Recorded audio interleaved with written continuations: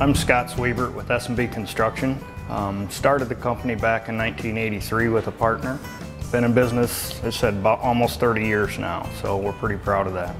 We do a little bit of everything. Uh, we do home buildings. We started out, we did a lot of renovations, um, additions, put in new windows, doors, siding. We also do ceramic tile.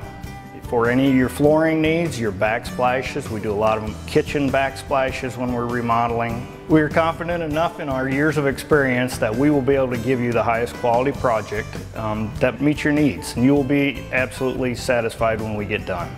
We try to treat everyone's house like it is our own. Um, that's the biggest thing I think that does set us apart. It's we know what it's like. We've, we've all been there and we try to do the best we can for customer and make it make it the nicest we can.